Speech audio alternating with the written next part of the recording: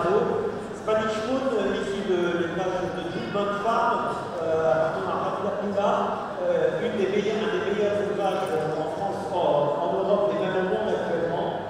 Euh, Spanish Moon, fils d'Elprado, est stade par Renko Quest, derrière deuxième mère, issue d'Hugues de Bourbon, Hugues de Bourbon qui est père de euh, euh, que l'on recherche dans des pédigrés d'obstacles, euh, en raison en particulier de son origine roselière.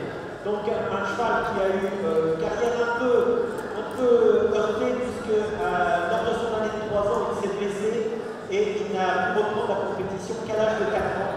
Donc il n'a pas pu courir les classiques de chevaux de 3 ans, mais il s'est rattrapé ensuite à 4 ans. Il a été second du Grand Prix à Rio 1 ou 3 et il a, il a gagné euh, une liste. En revanche, à 5 ans, il a gagné le Grand de 5 ans au groupe des 9 et il a été deuxième du Grand Prix 20 à Dubaï. Ensuite, il a également gagné le prix 3 fois à 2. Et euh, il a été trouvé le London Prize et il a été second sur le point en 2400, euh, sur 2400 mètres. Le groupe gagné par Daria Kana. Et il battait entre autres Cyrus Lézette dans cette course de London Prize. Donc, euh, un cheval. Un cheval qui a eu une carrière